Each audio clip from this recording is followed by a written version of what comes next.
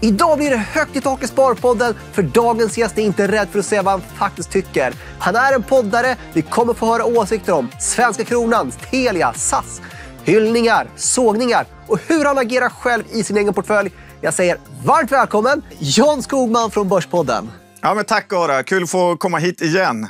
Kul att ha dig här igen för att senast så var det underhållande och otroligt lärorikt. eh, För du vågar säga vad du faktiskt tycker och det uppskattar vi. Ja, men det är fördelen med att eh, inte ha en chef. Men lite så är det. Och eh, vi hoppar rakt in på det. Senast så kritiserades Ingves ganska rejält, är väl fair att säga, eh, av dig. Och eh, nu har vi Thedéen. Han har höjt Ja. räntan. Han har gjort eh, en motsatt Ingves, höjt rejält. Men det verkar inte funka och eh, han verkar inte sluta ha planer på att höja. Det är ett par höjningar till. Mm, vad tror du? Hur, sköt han sig? Nej, men eh, eh för det första, Ingves var väl, det tycker väl alla nu, en av de största eh, katastroferna Sverige har haft. Och sen eh, Thedéen, han var ju tidigare eh, chef på Finansinspektionen och eh, eh, det gillar man ju verkligen inte hans tid där. Han gjorde ju ingenting för eh, småspararna så att eh, han börjar ju redan eh, på minus. tycker jag. Och sen får du tänka så här att eh, Ja, dels har han ju varit väldigt kort tid, men det är ju...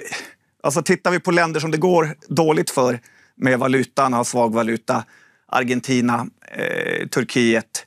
Det är inte så att vi tycker att det är riksbankschefens fel att de länderna är dåliga. Utan Sverige är ju ett dåligt land nu och eh, det är inte bara eh, Ingves eller Thedéens fel, men de är förmodligen en del eh, av det. Men vad menar du med att Sverige är ett dåligt land? Eh, Ja, men det är väl allmänna eh, temat just nu. Valutan går dåligt. Eh, eh, vi har lite liksom, uppror i förorterna. Eh, skolorna fungerar inte bra, sjukvården fungerar inte bra. Ja, som sagt, omvärlden verkar inte tycka om oss. Vi har Nobelfesten med haveriet där. Det är uppförsbacke. Vi, Sverige är väl lite grann i det här läget eh, som ett bolag som är i fritt fall.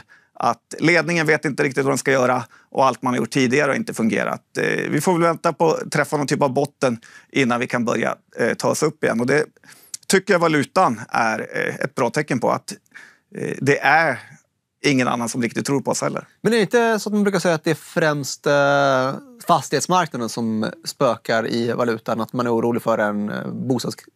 Bostadskris här i Sverige? Alltså jag tror inte att eh, de här miljarderna SBB eller eh, andra eh, har lånat, att det avgör. Utan jag tror det är större grejer än så.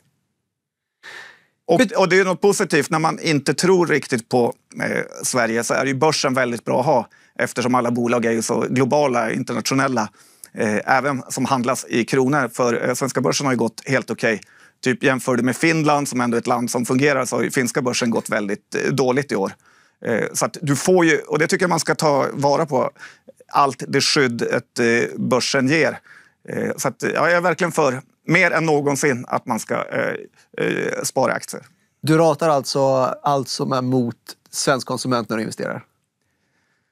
Nej, men svenska konsumenten kan nog börja komma tillbaka här eh, om ett tag. Vi har haft, det har varit nästan två år av negativt narrativ, elpriser, eh, ökade räntor hela, hela tiden. Plus att det är ofta rädslan man är lite eh, orolig för eller som gör att konsumenterna eh, drar åt eh, plånboken.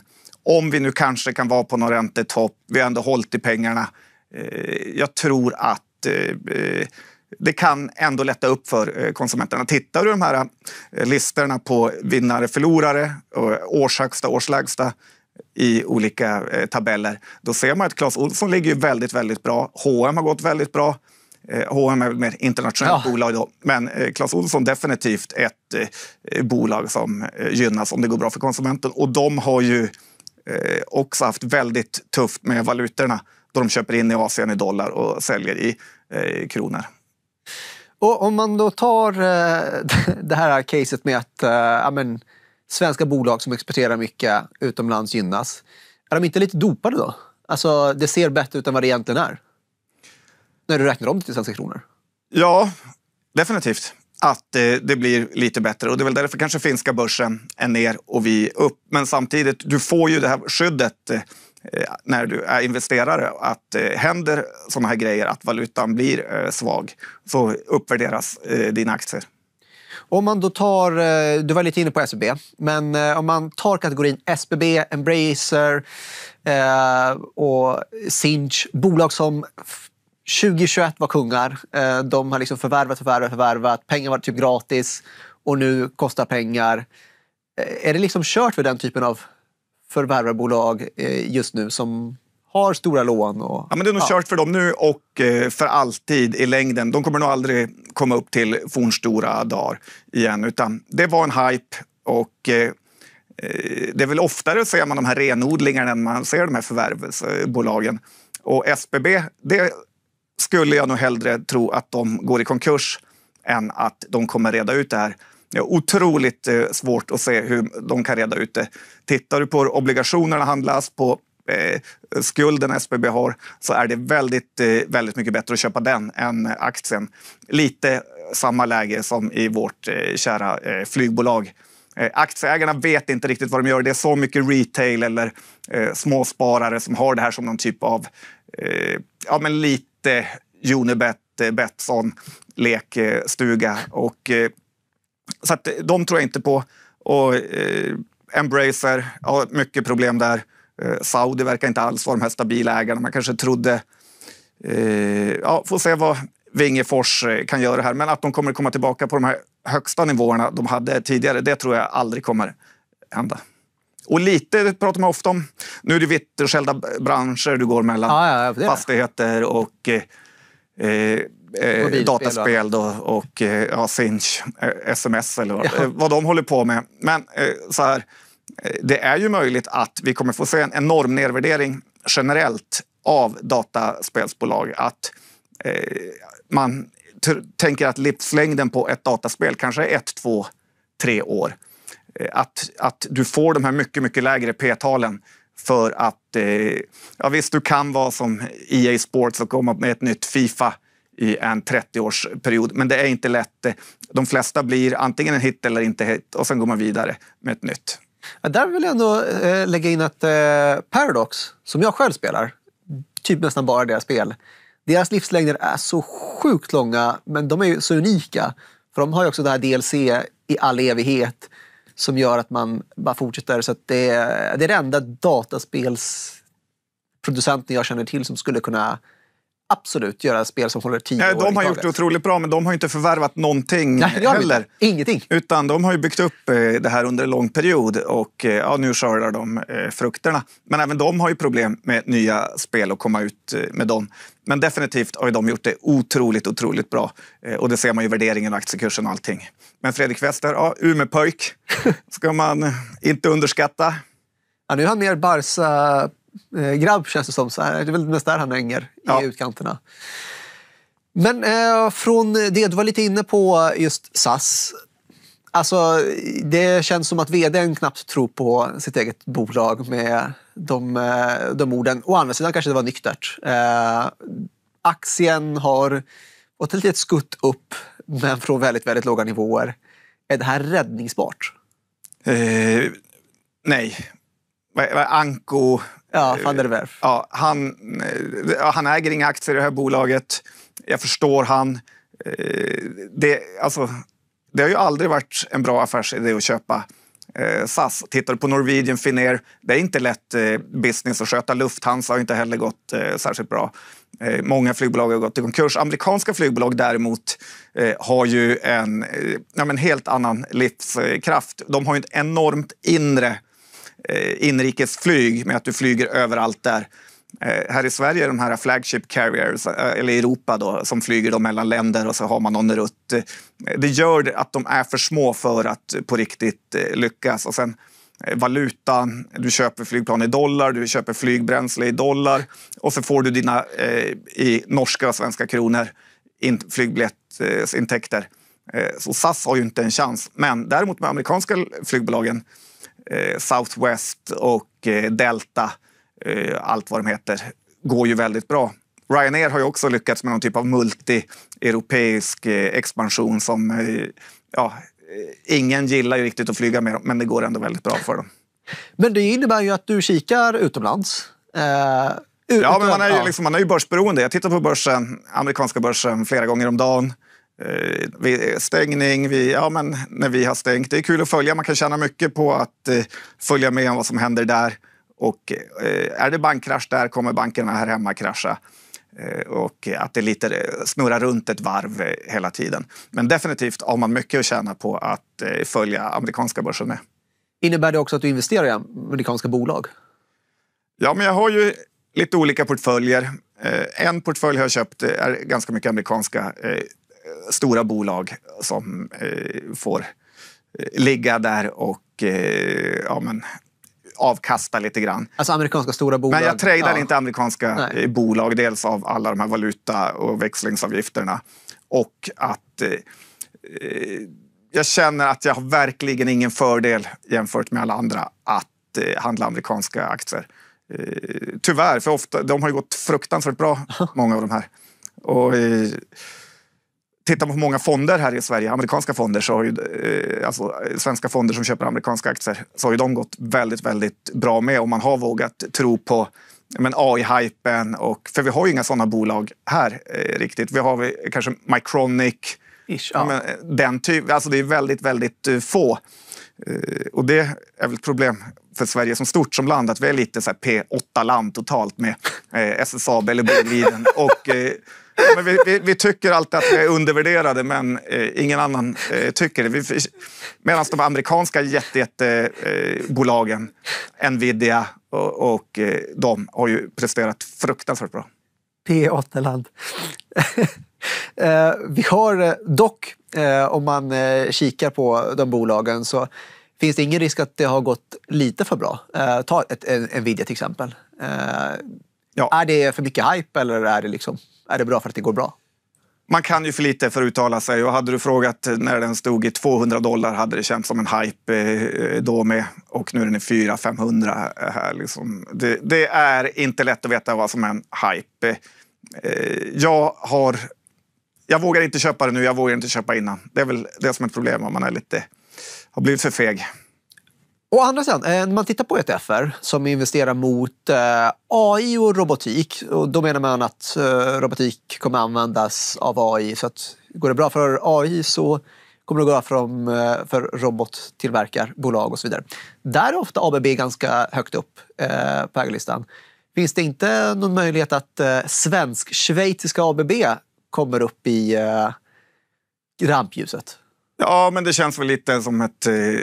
Ja, men pratbett lite grann. Det, man ska nog inte betta för hårt på det. Då är det bättre att betta på de riktiga AI-bolagen. Ofta är det ju så när det blir sådana nya eh, hyper inom olika sektorer att det är några väldigt få bolag eh, som tar hem allting. Det är bara att kolla på, alla har en mobiltelefon. Det enda mobilbolaget som tjänar pengar är Apple eh, och så vidare. Och, och, lite så är det ju inom, ja, men, eh, inom bilar. De enda som tjänar pengar på riktigt eh, Tesla eller som har fått utväxling för det på börsen. Så även om du hittar en bransch som är bra eh, och som kommer växa oändligt så är det ju väldigt, väldigt lätt att välja eh, fel bolag. Det är bara att titta på Telia eh, och många telekombolag. Att, alltså, hade man trott år 2000 eller då hur, alltså, det gick inte ens att föreställa sig hur mycket vi kommer använda eh, telenätet och mobiltelefonerna. Att då tro att Telia skulle vara en av de absolut eh, sämsta investeringar man kan göra på 20 års sikt. Det, det hade på storbolagen då. Det, det, hade ju nästan varit omöjligt att tro. Så att det väljer ju verkligen att gälla, välja rätt bolag inom, eh, i, även inom vinnarsektorerna. Men det är ju någonting som jag fascineras över. Telia, ett bolag som hade spretigt geografi, kom tillbaka liksom till sina kärnverksamhet Ganska enkel affärsidé, ganska tydliga skalfördelar. Varför går det så dåligt? Mycket var ju för att man tjänar ju väldigt, väldigt mycket pengar i de här verksamheterna man var för feg för att behålla eller som var i för lite halv shady eh, länder. Eh, så där fick man ju in väldigt, väldigt mycket pengar. Eh, och sen här hemma är det ju en otroligt tuff konkurrens. Eh, lite tjatigt att ta upp det här, men det är, som, det är ingen skillnad på Tele2 och eh, Telia och så vidare. Men det borde inte vara så här tufft eh, som eh, det har varit för Telia. Och sen Simor förvärvet har ju varit eh, jätte, jättedåligt. Man pratar ju nu om att man ska dela upp det här i nätdel och en eh, annan del för att få någonting att hända. Och möjligtvis kan man göra det nu när man har eh, möjlighet att hitta en helt ny vd. Och eh, det är ingenting du vill bottenfiska i? Den var väl nere här i 21-22 kronor där omkring. Och det är väl en av eh, de lägsta nivåerna aktien har varit på eh, sedan sen den kom till börsen. Man har ju fått utdelningar under tiden. Men jag känner att du lägger för mycket tid, för mycket kapital på att kanske få några kronor. Det är bättre att hitta bolag som kan eh, generera mer. Låt oss gå in på det.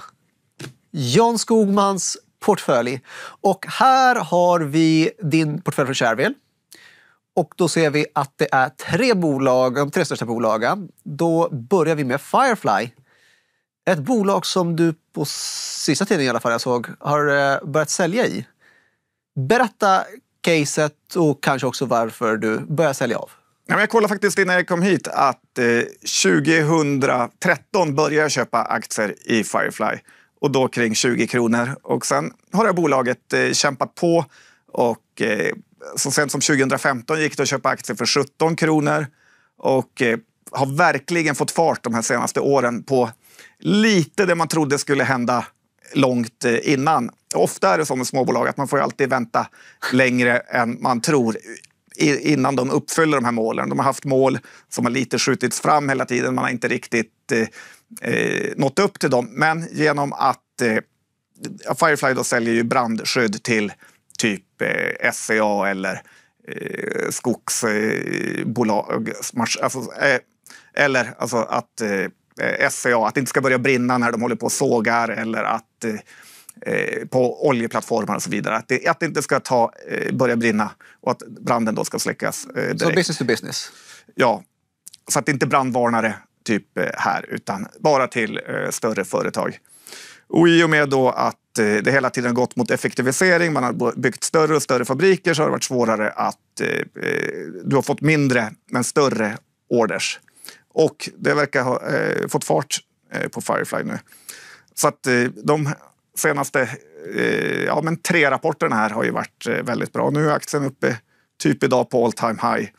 Eh, såg jag. jag har börjat minska ner lite grann för att det har börjat ta en helt orimlig eh, stor del av min portfölj. Och eh, ju längre man håller på med aktier, desto mer rädd blir man för börsen när man ser vilka enorma eh, fall som kan eh, orsakas. Att man vill alltid ta lite pengar från eh, bordet. När, sett, eh, titta på Viaplay eller Synact Pharma här idag som går ner 80 procent. Att eh, börsen är ett farligt eh, ställe och man ska inte ha för mycket pengar i ett bolag. Och lite den eh, känslan fick jag. Jag tror egentligen mer på det än någonsin, men jag har ändå känt att jag tagit hem. Jag såg ju Två gånger har det varit så att jag har sålt aktier, alltså lite större delar. Och båda de gångerna har det varit Erik Mittregger, alltså ordföranden, som har insynsköpt dem. Och han är ju vinnaren hittills eh, i alla fall. Så att, eh, kul, kul för honom. Är inte det typ en av framgångsrecepten på börsen att man ska våga hålla i vinnarna? Och eh, även om det tar en större del av portföljen. Det finns ju två skolor av det. Det ena är ombalansera och den andra är att så här, äh, låt vinnarna rida till varje pris. Ja, egentligen eh, ska man göra det. Och, eh, men det här börjar ta liksom orimligt eh, eh, stor del av... Att, och mycket handlar ju... Alltså, börsen är ju lite eh, som ens liv. Om man bara går runt och oroar sig för en aktie, då är börsen nästan något negativt. Det ska ju vara eh, att det ska addera till ditt liv, att du känner att eh, ja, men att du har en trygghet av att du har eh, pengar på börsen. Eh, inte att du går runt och bara eh, funderar på eh, hur börsen ligger, vart aktien står och så vidare. Men nu är den ändå inte allt för stor jämfört med nummer två på listan, Creade SPAC. Ska vi tolka det som att du gillar ränta? Nej, dels ska man säga att jag har mer eh, om du nu tittar på min sharewheel ja. så har jag mer Firefly-aktier på andra eh, konton. Okej, okay, då är det mer rimligt. Egentligen ja, tar det, det större plats än eh, eh, vad det är i, i grafen där. Ja, jag tyckte att du var lite drama queen, nästan inte så stora positioner. liksom. Men right, fair enough, då är den ja. ju större än vad vi ser på i grafen. Ja. Nej, men Kradesbacken, jag tror marknaden tänker fel här. och jag, jag har pratat om det här förut, men jag tycker ändå att eh, den är värd att ta upp igen. Att Kradesbacken, de skulle ju göra det här omvända förvärvet. Man fick, eh, eh, köpte då in sig på 100 kronor i värdering. Nu är aktien nere i 87, eller 97. Förlåt. Eh, och, men grejen är att substansvärdet är ju 100 kronor redan nu eftersom räntorna har börjat eh, täcka upp för alla de här kostnaderna Kradesbacken haft för att hitta nya bolag. Nu pratar man om att man har ett gäng diskussioner igång, att man kan hitta något. Har man tur träffar de någon typ av Encon eller de träffar någon typ av eh, ja, men, riktigt bra bolag som man kan få med på en rejäl uppsida. Eh, har man, om inte det händer så får man tillbaka de här eh, 100 kronorna då när de lägger ner eh, spacken om typ ett år, eh, lite mindre. Men det marknaden inte tänker på eh, är ju att om ett år har det tickat på eh, ränta, ännu mer ränta. Så då borde man vara uppe i 103, 103,50 kanske. Och frågan är om aktieägarna får ta del av det med. Då har man bara där en 6-7 procentig uppsida till. Alltså, alltså i ränte uppsida om inte Hagströmer ska ta eh, de pengarna. Så därför tycker jag det är kul att parkera pengarna där ah. innan man hittar något man vill köpa på börsen. All right. Det är lite din parkeringsaktie. Sen har vi ett till case som vi haft i Sparpodden tidigare. Det var Günther Mårder som var här och snackade om det. Och det är Research. Och det är eh, intressant bolag på så många sätt. Eh, positivt och negativt. Berätta.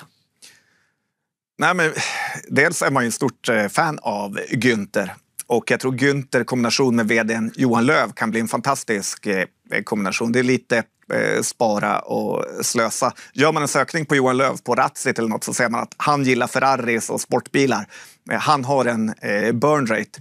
Men han har ju grundat det här bolaget, byggt upp det. Ibland, eh, eh Research har ju sitt kontor, typ där vi har vårt kontor vid, eh, vid alltså Karolinska kan man säga, omkring där, vid Odenplan. Ofta går personal av som jobbar på, anställda går av på tunnelbanan vid Odenplan. Och då brukar jag prata lite med dem. Och alla älskar att jobba på Research. Eh, så att jag tror det är ett jätte, jättebra bolag. Det är 100 procent eh, mjukvara, så att marginalen är ju typ 100 procent kan man säga. Eh, inte riktigt, men det är väldigt, väldigt bra bruttomarginal. Får de lite fart på det här Eh, cancer är ju eh, här för att eh, stanna tyvärr.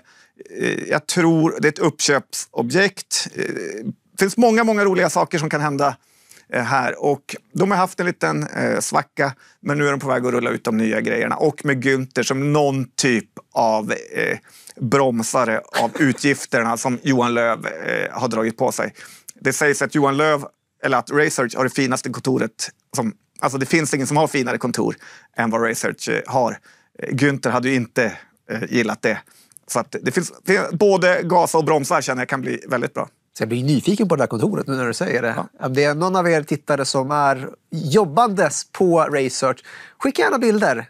Det vill vi ha. Ja, och eh, sen var ju eh, Q2 nu som kom ja. en väldigt, väldigt eh, fin rapport och visar väl att någon typ av vändning är eh, på gång. Ja, de hade väl ökat orderingången eller om jag inte missminner mig. Ja, och aktien står ju väldigt mycket lägre än de gjorde på sina eh, toppnivåer. Men det här är också så här, här får du vara med. Och det här är ju jämfört med många, alltså det är otrolig uppsida i det här caset. Även om det alltid är kanske lite högre risk i den här typen av eh, bolag. Men här finns det ju verkligen, i och med den här 100, eh, alltså 100-procentiga bruttomarginalen, men den väldigt höga bruttomarginalen, finns det väldigt, väldigt mycket uppsida om de skulle eh, få igång försäljningen på riktigt. ETFer, vad är det? Jo, det är som en fond praktiskt taget, men handlas som en aktie. Lite av det bästa från båda världar. Du har ett brett sortiment och väldigt smalt med nischer. Till exempel, istället för att bara ha en Asienfond eller en Asien-ETF, då kan du välja om du bara vill ha till exempel Indonesien eller Vietnam att välja en Vietnam-ETF eller en Indonesien-ETF. Du kanske gillar teknik, men speciellt mycket inom AI och cybersäkerhet. Då har vi en ETF för just AI och för cybersäkerhet. På det här sättet kan du välja exakt hur du vill spara i, i de nischer du tror på mest. Dessutom ofta till en bra lägre avgift än motsvarande fonder när det kommer till förvaltningsavgiften. Men en av avgifterna som tillkommer om man köper ETFer kontra fonder är courtage. Dock, på Nordnet har vi fixat så att man kan månadsspara courtagefritt i ETFer. Man kan välja upp till fyra stycken per månad. In på Nord.se eller i appen för att läsa mer. Tillbaka till poddavsnittet. Och du nämnde Q2. Det finns flera andra Q2 som har kommit i sommar, eller typ alla Q2 har kommit i sommar. Eh, och nu är det över. Och nu när man blickar tillbaka till sommaren, hur, eh, hur gick det? Ja, nu har vi lämnat 31 augusti som var sista eh, datumet för att eh, rapportera. Och det har ju varit en vild, vild eh, period. Kanske ett av de vildaste rapportperioderna man har varit med om i och med hur storbolagen har... Alltså det, inte varit, alltså det känns som när jag började med börsen eh, och började trada. Då, på en dålig rapport då gick ett bolag ner eh, 3-4 procent eh, på en vinstvarning, 5 du vet att, Men nu är det ju, alltså, det är ju groteska rörelser på börsen på vanliga rapporter. Det är 15-20 procent på eh, storbolagen. Så att man får ju verkligen vara eh, rädd om pengarna. Och det har ju varit många, många stora reaktioner på nedsidan, vilket gör en just rädd för börsen. För det brukar jag säga att på börsen kan ingen höra dig eh, skrika. Och så är det ju verkligen, att eh, det är anonymt där. Man får verkligen hålla eh, smärtan eh, för sig själv. Det är ingen som vill liksom, prata om ens dåliga affärer. Men eh, frågan alla ställer sig är väl, har vi börjat med lågkonjunkturen eller är vi på väg ur den? Så att man fick ju egentligen inget eh, svar ur Q2, för de var lite, lite för bra. Man, börsen hade nog velat se att eh, de hade varit eh, lite sämre och att vi var på väg komma ur den. Nu är man, har man varit lite, lite orolig. Alltså minsta nyans att vi är på väg in i den har kraschat, gjort så att bolagen har kraschat. Är vi på väg, kanske, tittar man på USA nu, där de pratar om mjuklandning, pratar om att eh, eh, att de kanske inte ens kommer komma in i någon lågkonjunktur. Att vi kanske, kanske kan eh, få komma med lite fart. Eh, så att Q3 blir väldigt, väldigt spännande att se eh, hur det har gått för bolagen då. Men tittar man nu på ja, men runt om i världen. Nu har du varit och rest eh, mycket mer än vad jag har sista tiden, men det känns inte som att det är en jätte, jätte eh, lågkonjunktur där och var på eh, ja, men äter man på restaurang här i Stockholm, det känns i alla fall som att Stockholm har det inte jättetufft. Villapriserna, eh, bostadsrätterna, det är inte jättebilligt. Det blev aldrig något eh, fynd och det är mycket möjligt att med de här löneökningarna, kanske räntetoppen, eh, har varit och man får, folk får nya löneökningar här. Snart är vi inne i 2024 igen. Att vi då eh, kan ta lite extra eh, fart. För många bolag det är inte så att byggbolagen har gått bra, det är inte så att fastighetsbolagen har gått bra. Eh, utan eh, de kan ju börja ticka upp här. Det är väl många som frågar sig vart är köp... Eh, när ska man börja våga eh, köpa just den här typen av bolag? För det behöver ju byggas hela tiden. Men eh, när är det läge då? Alltså, många fastighetsbolag är ner typ 60 procent, 70 procent, 80 procent. Vissa har liksom en rabatt mot sitt uppgivna substansvärde på typ 80 procent. Vilket går att ifrågasätta hur trovärdigt de uppgivna substansvärdena är. Men ändå. Mm. För vissa av de här bolagen, typ SBB, är ju, de är ju körda på att de kan, kommer aldrig kunna... Eh, de får ju sälja grejer till förlust, de får dra ner. De pengarna är borta. Det, det är ju mer ett överlevnadscase. Det kommer ju aldrig bli någonting igen, tror jag. Eh, sen andra fastighetsbolag eh, med mer kvalitet, typ Castellum eller Atrium Ljungberg, huvudstaden, de kan ju verkligen eh, komma tillbaka, utnyttja det här läget via nyemissioner.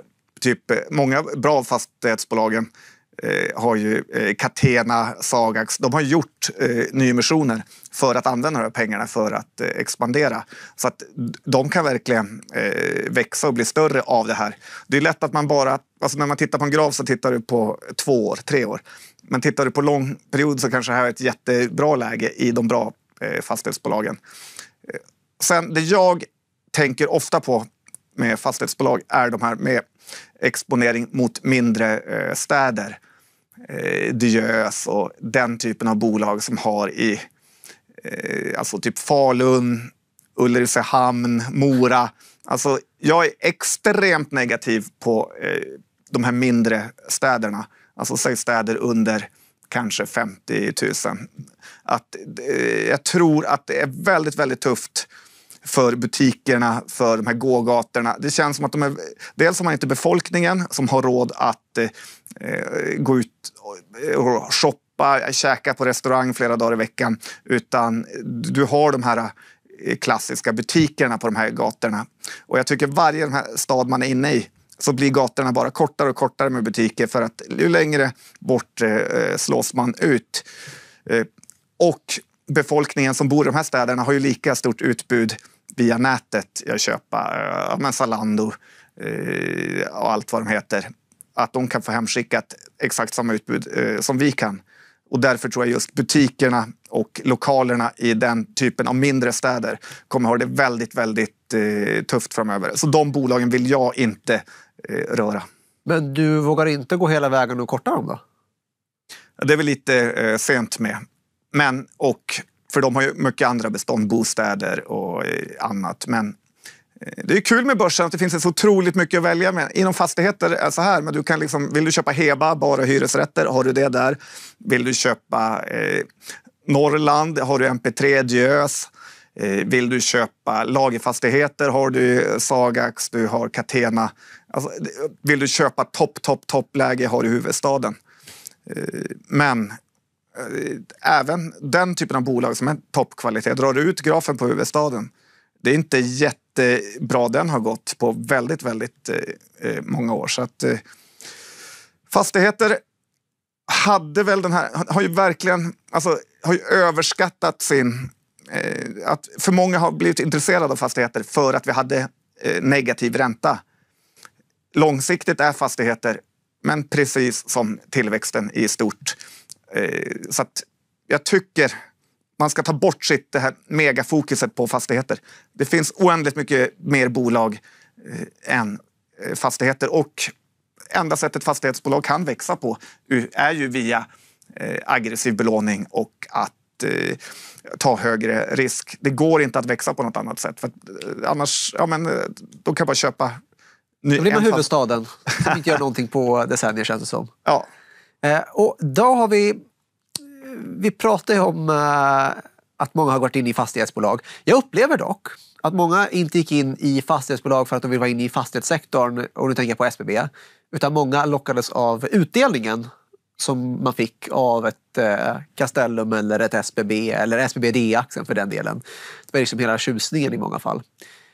Men... Eh, ja, jag har ju varit stort fan av preferens och D-aktier. Och har du varit det? Skulle väl ändå tänka att jag har tjänat en hel del eh, pengar på det genom åren här. Och eh, ja, men så att, det, och även ja. alltså Castellum, om du tog upp det, de hade ju inte sänkt utdelningen på, sen de i princip kom till börsen förrän ja, men Akelius kom in och satte ner foten. Och, eh, men ja, det, det, varit, det borde nästan göras någon typ av Netflix-serie om alla våra eh, fastighetspampar. Typ ja, men Rutger, Ilja och så vidare. Kanske jag är med på någon cameo-roll. Han var här några veckor innan eh, det gick åt skogen. Mm. Eh, och då hade han eh, ljusa utsikter för eh, utdelningen som inte blev av. Ett år ifrån att bli en aristokrat. Det är den här 25 ja, Castellum. År. Ja, ja.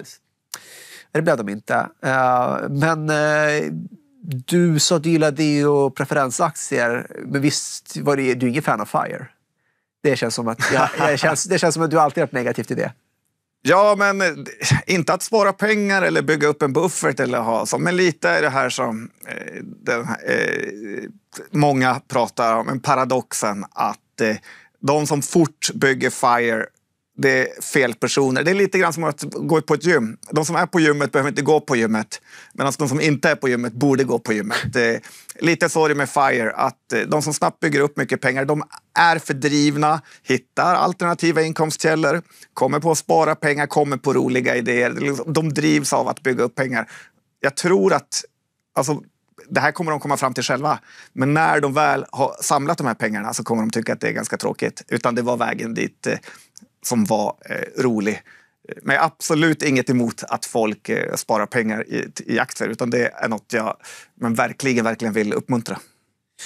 Och från någonting till någonting helt annat då. Eh, het debatt har ju varit om eh, våran eh, stackars svenska krona och vi har pratat lite grann om effekterna på börsen och så.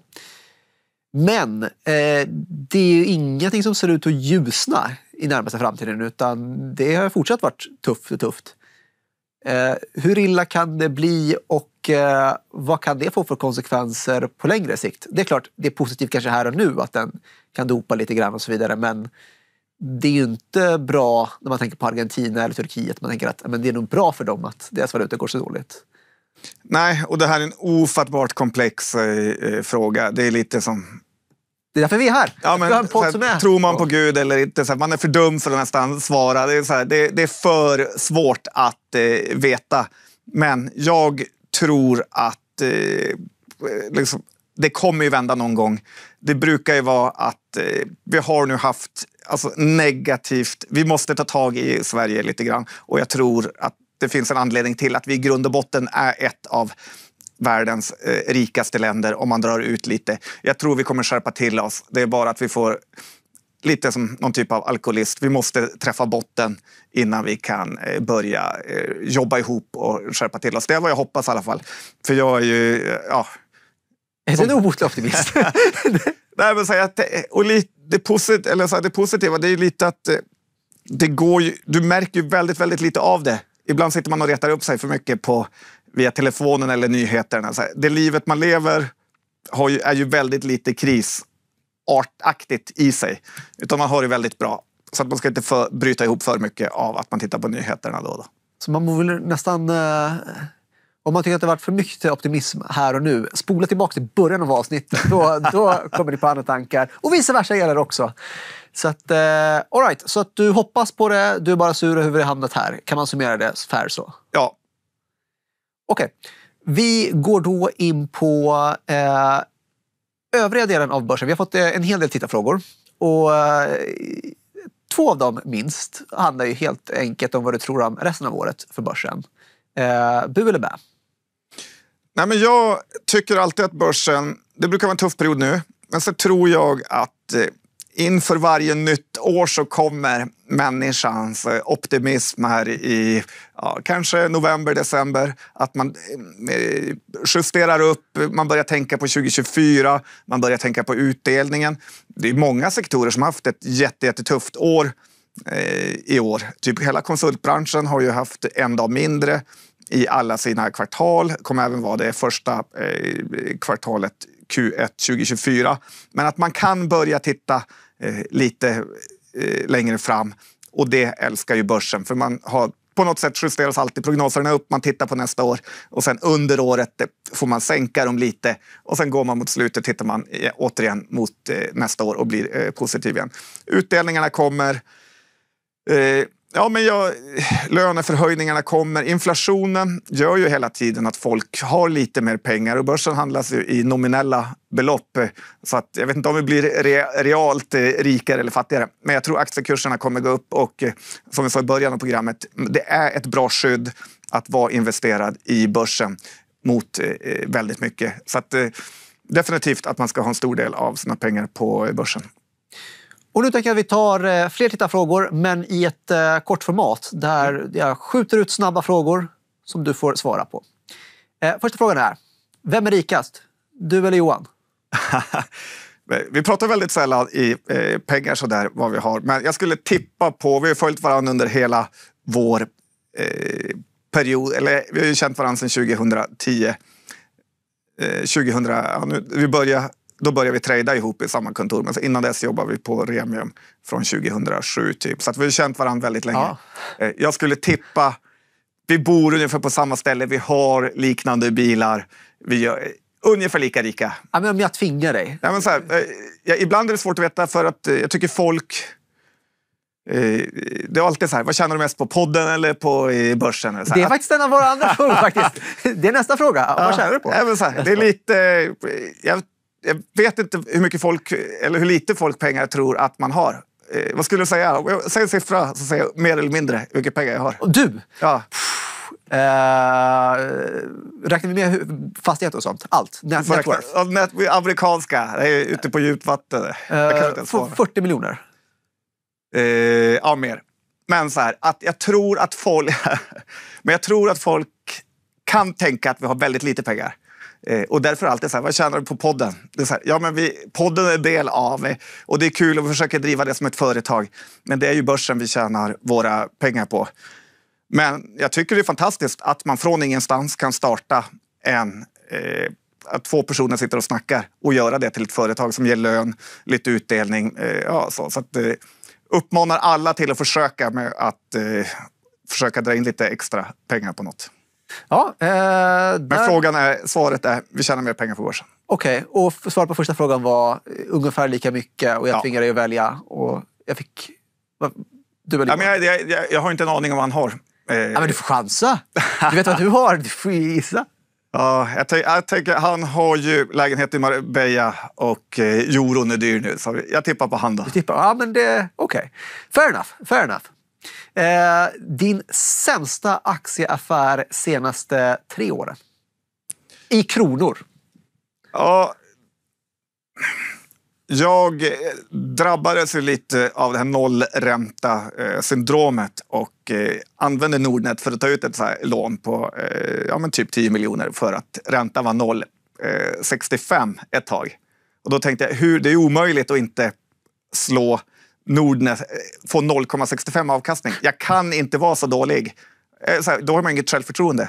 Att då låna 10 miljoner kostar 5 000 kronor i månaden. Eh, det, är- det är ändå härlig buffert att ha.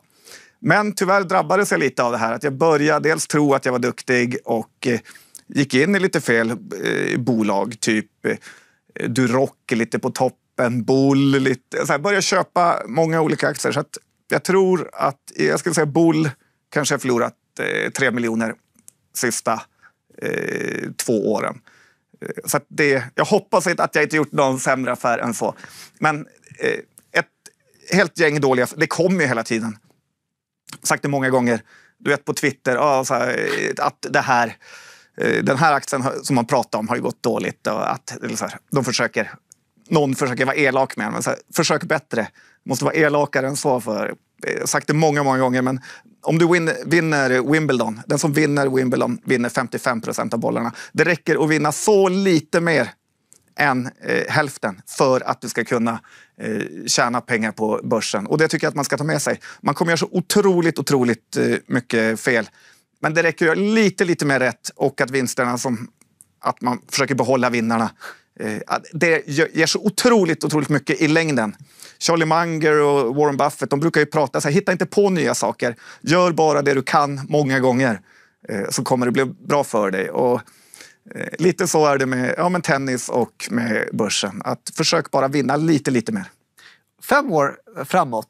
Du tittar tillbaka på dina nuvarande innehav. Vilket innehav tror du du kommer ha störst chans att ha behållit? Ja, det, det man är, nu är Firefly lite unikt för mig att jag har hållit det i nästan eh, tio år och det har varit en av mina bästa affärer, eller det har varit min bästa affär jag någonsin har eh, gjort. Men tyvärr är det så när man är trader att de bra innehaven säljer man ut och de dåliga, alltså trots att det allt vi har predikat om här innan, Ja, det är precis för Då- bara en minut sedan. Ja, men, men de dåliga innehaven blir man kvar med. Typ som jag har kvar Bull, jag har kvar Duroc. Jag har alltså många, många bolag eh, som eh, jag egentligen vill bli av med och jag kommer sälja dem där det går upp. Eh, så det är en svår om, fråga. om det går upp. Ja, ja, men det är väldigt lätt att man blir sittande. Men det, något som är fantastiskt med börsen eh, ska man komma ihåg och innehav. Det är ju att dåliga innehav blir hela tiden mindre mindre vikt i portföljen. Så att om du köper Bull för tre eller fyra och så går du ner till en. Då har den mycket, mer... det, här, alltså det är inget tips direkt kan jag säga. För, för, du kommer inte bli rik när du gör det. Men att då har den mycket, mycket mindre vikt i din eh, portfölj. Och på så sätt orsakar den mer, mindre skada om den skulle fortsätta eh, vara dålig. Eh, så det får man tänka på. Och det är ett problem för alla blankare och varför det ofta är så svårt att eh, tjäna pengar på blankningar. För att om en blankare aktie går upp från 100 till 200 då har du helt plötsligt dubbelt så stor exponering eh, eftersom den är värd 200 och även så när du blankar index. Så att det är en bra position när du blankar. Alltså när aktien går ner från 100 till 50, då är den bara värd 50. Ja. Och, och, eh, så du, har, du, har en, du har liksom tiden och eh, storleken på din eh, sida när du går långbörsen. Och svaret på frågan, vem, vilken, om det inte är Firefly, vilken tror du du har kvar om fem år? Nej, men då är det nog att jag vill ha kvar Firefly. Research hoppas man ju på någon typ av eh, också, men det är väl Fire, jag säger Firefly. Den har, den har gett mig mycket så jag hoppas på att jag får eh, hänga kvar ett tag till. Ett tag till. Och jag gillar eh, gänget eh, som jobbar där. Lite, det var någon som skrev på Twitter såg jag att eh, eh det är kul att vinnar, vinnar nu heter Lennart, är 65 år, aktiverar inga eh, intäkter och eh, gör inga förvärv. Så att det har ju varit en vinnande period eh, nu. Men själv frågar man är ju Frågar man på så här årsstämmorna, sånt, varför köper ni ingenting? Varför gör ni inte som de andra bolagen? Nej, men det, så ska man inte göra. Så att det, pendeln svänger verkligen fram och tillbaka, även fast man inte tror det när man är mitt uppe i det. Sista kort fråga. Eh, du hamnar i koma och kan inte trada eller röra din portfölj. En annan person ska sköta ditt, eh, din portfölj helt och hållet. Du, har ingenting, du kan inte säga till om någonting. Tre år. Vem skulle det vara? Ja, men jag känner att Johan hade blivit eh, väldigt kränkt om jag inte valde honom. Och eh, känns som den kan gå ganska dåligt då. Men, men jag får ändå ge han eh, förtroendet. Det hade inte varit något internationellt. Du hade inte låtit Buffett ta hand om den eller så? Ja, men jag vill mer vakna upp och så känna mig irriterad direkt på Johan. Varför har du gjort så här? Varför köpte du av här? Du sålde. Så, nej, ändå, en kul del med börsen är ju att eh, det finns ju väldigt många roliga personer att prata med, eh, diskutera med. Och, och, så att, därför så hade jag gärna tagit en batalj med Johan så här efter eh, tre år. Om, gladast är nog att vakna efter tre år. Alltså. Får vi se. Att portföljen är, på, eh, det är sekundärt då. Och det är absolut sista vi ska göra. Det här är ingen kort fråga utan det här är snarare en lång fråga. Mm. Det är ett lopp som ska göras. Eh, och det är du mot Olle Kvarn, alltså det är inte bara ni två, men, men ni två ska köra samma lopp. Ja. Och eh, det här, utan jag begriper hur, har blivit så enormt stort att det går att betta på det och eh, oddsen är inte på din sida det är de så inte, länge. Eh, är det någon form av arbitrage här för dig att betta på dig själv? Eller hur, Får man det i såna här uh, internationella inte. tävlingar? Får du betta på Olle och köra jättedåligt race? Jag vet inte. Jag känner att jag, eh, det skulle jag inte göra. Eh, men det här hässelbeloppet kommer ju bli väldigt, väldigt eh, roligt och kul att så många har hakat på. Det är ju väldigt bra med att... Jag, så här, det var, jag utmanar Olle på att vi skulle köra det här. Och han är ju inte blyg av sig. Han är ju favorit, såklart. Utan att snacka ner mig själv. Så han är tio år yngre, kanske mer till och med. Han, jag har nästan varit på väg att ringa hans eh, föräldrar. På, eh, skicka han till BUP. Han väger ju eh, 65 kilo. Där är jag liksom 12. Vi är väl typ lika långa. Jag väger kanske 11-12 kilo mer än han. Eh, det, han tränar ju som en galning. Så att, ja, Olle är väl någon typ av favorit. Jag förstår bettingbolaget som har gjort så. Samtidigt, jag skulle kanske inte räkna ut en sniper från Umeå heller direkt. Utan jag tror jag har definitivt en god känsla. Jag har sprungit det där eh, ja, de senaste två åren på under 40, 39, 30, 39, 40. Mm, ja. så att, och Olle hade 39, 10 kanske. Så att det är inte så att vi är enorma eh, skillnader ifrån varandra. Och eh, det är kul med tävlingar. Alla kan ha en bra dag. Och hur eh, ligger du träningsmässigt? Har du hållit igång nu? Nej, men jag är väl i ganska bra form. Lite är det så här med de här... Alltså, för att vara en dålig löpare så måste jag ändå anstränga mig mycket för att springa under 40. Och därför kan man inte träna för det hela året utan man får väl ta en månad, en och en halv innan och verkligen försöka eh, pressa sig men man, eh, för att eh, få upp farten. Alltså. Förhoppningsvis kommer det räcka en bra bit men ja, får se. Det avgörs på tävlingsdagen. Och när är tävlingsdagen? Första oktober. Ja, men det är en bit. Du, du har tid att jobba vidare. Vi har en bild på att Olle sitter och, står och tränar liksom, eh, med ditt ansikte framför. Ja. Som morot när han springer på springmaskinen. Nej, men Olle är duktig. Det, det här ska bli väldigt kul att eh, följa. Men jag hoppas att jag kan ge honom en match. Och om det är någon som tänker så här, ah, men det hade väl varit kul att höra Olles kommentarer om det här racet också, inte bara John, så kan jag säga att Olle kommer till Sparpodden. Och det gör han med högsta sannolikhet innan vi kör, eh, innan det här loppet sker. Så att, eh, nej, det blir spännande att se vad han eh, säger om sina möjligheter. Eh, jag önskar dig stort lycka till med tradingen. Eh, stort tack för att du var här och stort lycka till den första oktober. Så är vi att det var allt för Sparpodden den här gången. Hej då! Hej då! Yes! Yes! Tyckte ni om detta? Glöm inte att ge oss en tumme upp och prenumerera. Och dessutom, vill du se mer så har vi fler videor här borta. Klicka!